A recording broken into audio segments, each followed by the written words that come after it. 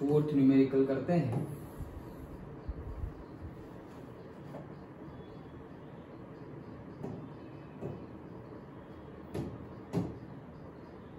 Fourth numerical क्या बोल रहे हैं?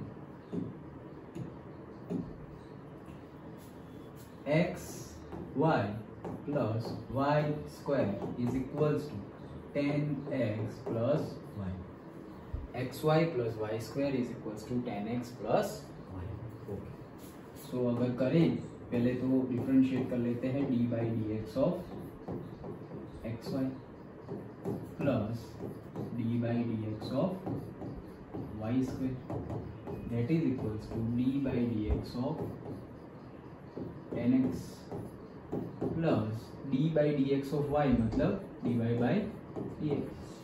ओके ये तो u इंटू वी आ गया। यस x इंटू वाई मतलब u इंटू वी आ गया। So x constant dy by dx plus y constant dx by dx ऐसा ही होगा? ओके प्लस वाई स्क्वायर की जगह वाई की जगह एक्स होता।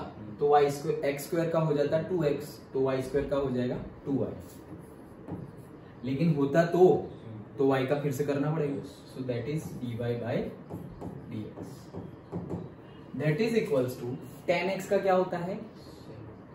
Second square second square x plus d y by d x done अब इतना सारा है।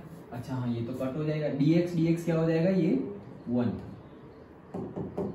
सो क्या करें?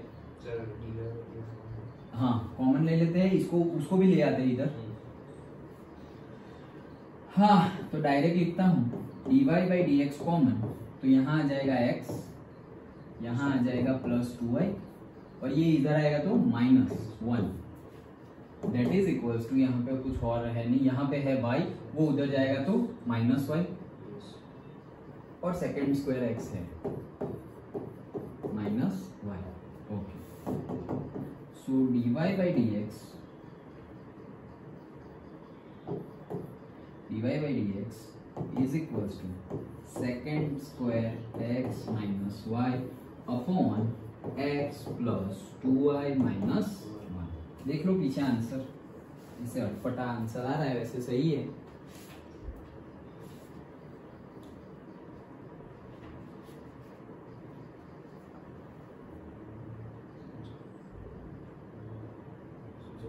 सही ओके समझ में आ गया? यस नेक्स्ट देखते हैं।